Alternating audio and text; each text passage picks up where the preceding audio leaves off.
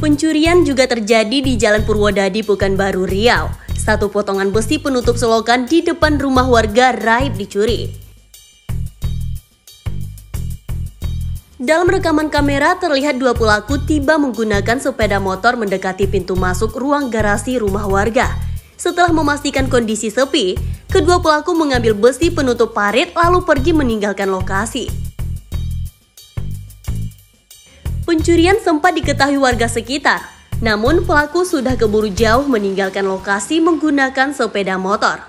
Guna menghindari kecelakaan, pemilik rumah mengganti besi penutup selokan. Belum ini juga sudah ada kejadian di pas bengkolan ikat tunggal itu.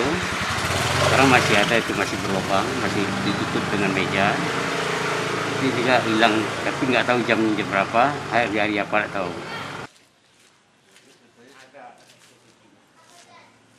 Kasus serupa sudah terjadi berulang, warga minta polisi menangkap pelaku agar lingkungan tempat tinggal mereka aman dan tentram.